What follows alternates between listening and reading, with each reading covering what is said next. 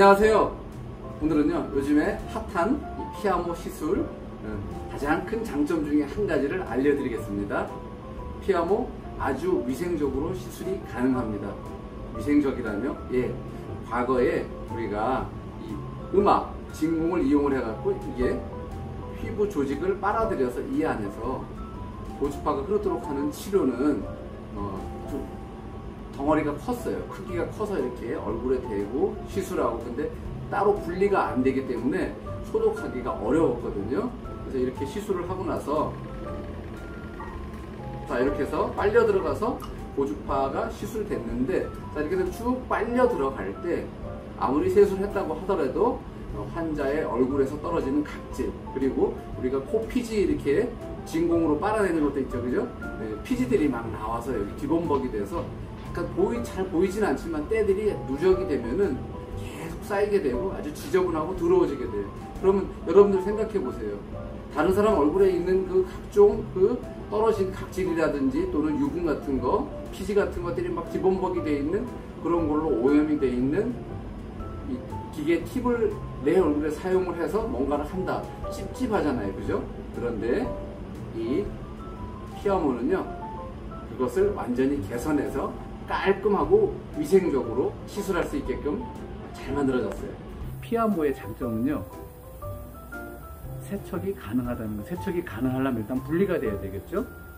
내리에서 빠져나오고, 자, 이렇게 보면은요, 자, 이렇게 해서 여기 버튼 양쪽에 있는데, 이 버튼을 누르면은 예, 분리가 됩니다.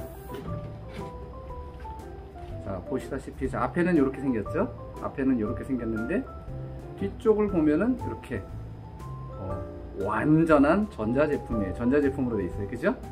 네, 전자제품인데 자, 여기 덮개가 있어요. 덮개가 이렇게 어, 고무 패킹이 돼서 이렇게 해서 닫으면은 예, 방수가 돼서 괜찮긴 한데요. 어, 여기 요 안에 요 안에 청소할 정도로 어, 무슨 청소를 어떻게 하냐면은 이 청소는 초음파 세척기를 가지고 하시면 돼요. 초음파 세척기를 가지고 하시면 되는데 어, 여기까지 굳이 다 잠기게 할 필요는 없고 여기 지금 요 얼굴이 빨려 들어가서 여기 들어가는 요 정도까지 깊이만 네, 세척을 해주시면 돼요. 자, 우리 피아모 핸드피스에서 분리한 팁 그리고 여기 뒤에 마개 마개는 이렇게는 안 되고 자 이렇게 해서 딱 맞게 이렇게 해서 이렇게 다 고무팩이 패킹이 돼서 물이 안 들어가게 되어 있는데요 자 이렇게 해서 이걸 전체 다 잠수를 시킬 필요는 없고 뭐 방수라 그래서 잠수를 시킬 필요는 없고 요 정도까지 잠기게끔 여기 지금 예, 넘어서 보여주세요 예. 요 정도까지 이렇게 요 정도로 잠기게 해서 이제 시작을 해서 하면 돼요. 네. 소리 들리시죠? 그리고 저기 미세하게 진동이 일어나는 거 보이시죠? 네.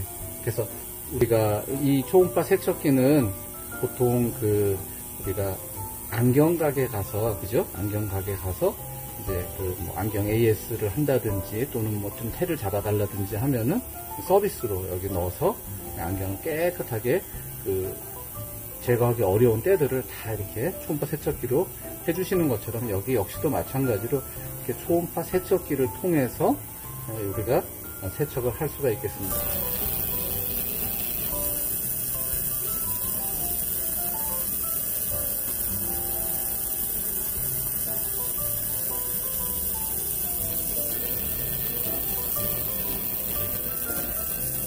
몸으로부터 다른 환자의 몸에서 나온 각질들을 청소를 하고 있어요. 한 번씩 시술하고 나서 이렇게 하고 있고요.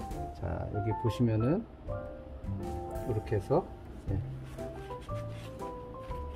밑에를 잘 닦아주세요. 톡톡 닦아주시고 닦아준 다음에 이제 어느 정도 좀 드라이가 되고 난 다음에 네. 여기 아직 물기가 좀 있는데 네, 금방 마를 거예요. 드라이가 되고 난 다음에 이거를 다시 이렇게 해서 자 아시다시피 자 보시면은 여기가 상당히 많은 예, 여기 전기가 연결되는 전극들이 있고 그 다음에 또 아, 전자 제품이에요. 전자 제품이기 때문에 여기 물이 들어가면 안 되겠죠? 네, 그래서 이렇게 해서 세척하시면은 우리가 매번 매번 환자 시술하고 나서 이렇게 어, 세척을 합니다 어, 기존에 그 있던 그 다른 타사 제품은 어, 사실은 이제 이렇게 한 덩어리로 돼 있어 갖고 분리가 안 되니까 어, 세척을 하기가 어렵고 그냥 거기는 뭐 알코올 면봉이라든지 알코올 솜으로 좀 닦아내야 되는데 아무래도 이렇게 초음파 세척기로 닦아내는 것만큼 깨끗하게 제거하지는 못할 거예요. 그래서 피아모의 가장 큰 장점 중에 하나가 우리가 시술을 위생적으로 하고 그리고 또 다음 환자 하기 전에 음, 세척을 통해서 깨끗하게 어, 청소를 한 다음에 시술을 또 진행해서 위생적으로 깔끔하게 예, 우리가 어, 환자를 시술할 수 있다는 게 가장 큰 장점 중에 하나입니다. 자 이렇게 어, 물기를 닦은 다음에 여기 소독을 살짝 해주세요. 여기 우리 주사용 알코올 솜 있죠? 주사용 알코올 솜을 해서 이런 식으로 한번 예, 전체적으로 닦아주시면은 예, 그리고 시술 하기 전에도 뭐 꼼꼼히 닦아주시고 예, 뭐 구석구석 뭐 이건 이미 이제 초음파로 세척이 됐기 때문에 잔때 같은 건 다 없어졌어요. 이렇게 해서 보관해 놨다가 시술할 때 환자분한테 쓰기 전에 먼저 또 알코올 솜으로 한 번 더 닦아주시고 어, 시술하는 게 위생적으로 가장 그래도 안전하고 어, 다른 사람이 가지고 있던 그런 이물질이라든지 또는 균을 다른 사람에게 옮기지 않는 안전한 시술법이라고 할 수 있겠습니다.